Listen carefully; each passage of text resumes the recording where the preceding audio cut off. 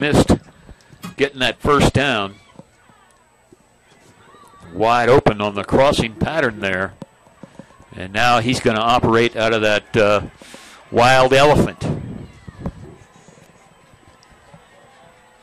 Dorsey takes the snap, fakes the inside handoff, rolls out left, firing downfield, one on one coverage, and a beautiful catch down there by Rodney Lackey, letting the defender run by. Lackey into the end zone for the touchdown. Unbelievable. 37 yards. Dorsey